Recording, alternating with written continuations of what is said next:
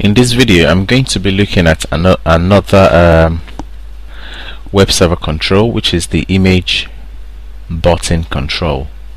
The image button control is used to replace the default image uh, the default button that ASP.NET uh, always put on our web page which is a very very ugly button you know this is the the button that we usually get. So if you have created your own button in uh, a photo editing program like uh, Photoshop then you can import that uh, photo I mean you can import the image into Visual Web Developer so you can use it. So uh, this is how you import your video. You right click on the project and choose an existing item. Don't add a new item. You want to add an existing item.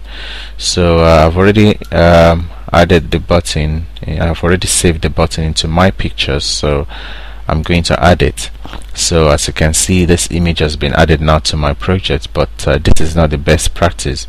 The reason why is because if you have so many images they will just be flying all over the place. So the best way to do it is to create a folder.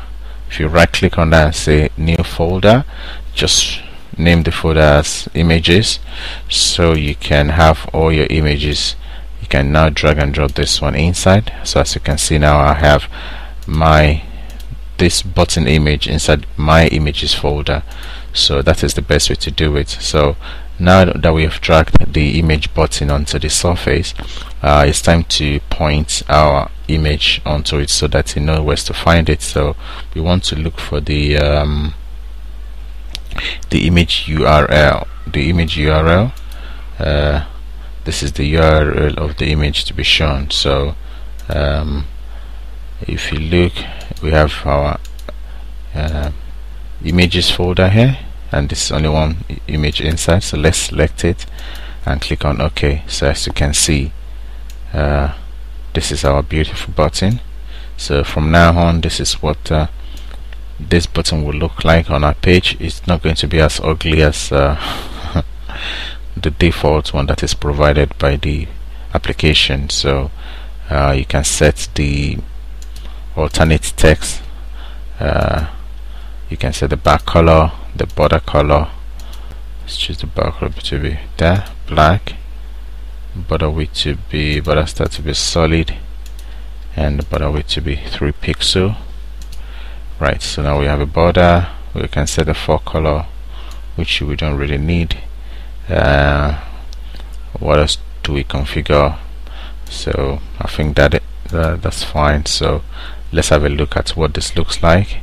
So as you can see here this is much more more beautiful than uh, the default that is provided by the application. So you can change the way that your button looks on your application. So there's nothing much more to it than that.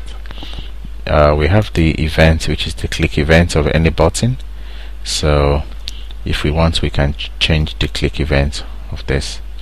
Um, just like every uh, this is a button. The only difference is you can change the image. So um, you can configure the click event if you want to uh, or just by clicking double clicking the image itself. So um, that's it. If you have any question uh, leave me a comment and I'll reply. Thank you